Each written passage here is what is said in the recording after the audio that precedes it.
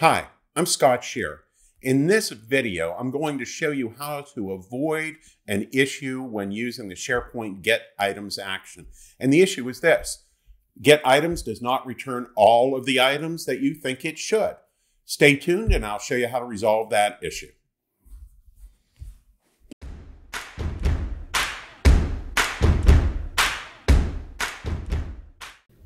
In this video, I'm a guy who needs to loop through this SharePoint list, my financial sample SharePoint list.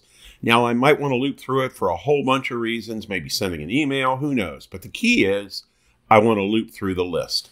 And I want to see how many items are in the list. So I'm going to go to Site Contents and go to Financial Sample. And I can see there are 700 items in this list. Now, I've already created a flow. Let me go over to my flow. And it's a very simple flow right now. I'm not complete. I'm just looping through the items. I'll add more content to it later. I'm going to start this flow with a button. I've got to get items action and then a simple compose just as a proxy for whatever it is I want to do later. So let me test this. I want to do this manually. Test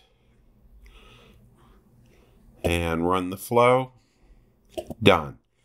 Now very quickly here, I'll see how many items I'm looping through. And as you can see, I had 700 items in my list. I'm only looping through 100. And there's no error message. There's nothing that's going to tell me that I'm only looping through 100 items except for what you're looking at right now. It's just something you need to know and you really, really need to remember it. So let me show you how to fix and avoid this issue. Now I've developed this habit when I have an issue with Power Automate, if I can't figure it out, believe it or not, I'm going to go read the documentation. And that's what you see in front of you right now. I'll post a link to this in the comments, but uh, let's take a look. Item limits. The default item limit is 100 and items are paginated by default. Below that it says if you are using the default options and simply specifying the site address and list or library name, Power Automate returns 100 items from the list or library. Well, that's the experience that we have.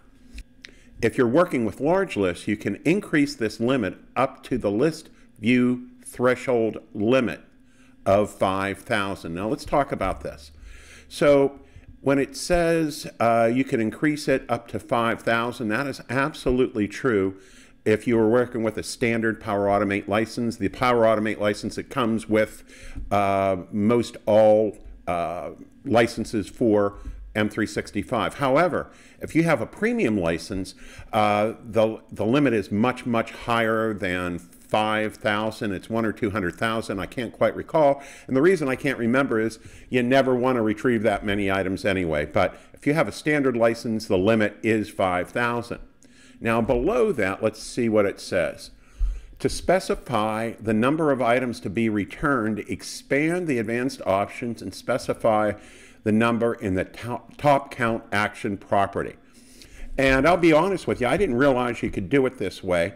Um, and I tested it and it does work. However, there is another way to, uh, to fix the issue that we're talking about. And in a moment, I'll show you both ways.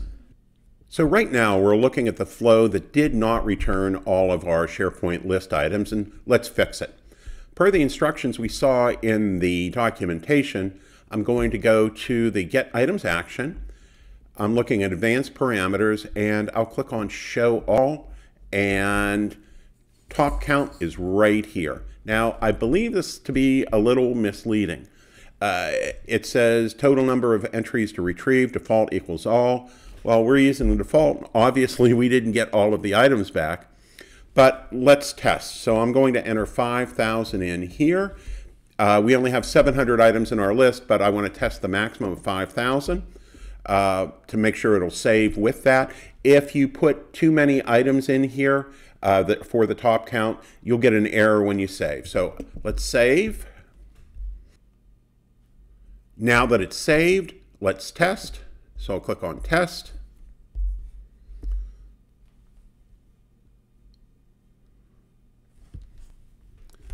I'll select manually because this is a button flow, test again, run flow, done.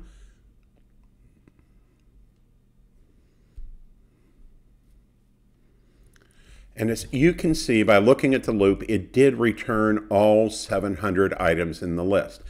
Now, I mentioned a few moments ago that there is more than one way to address this issue. I'm going to show you the second way now.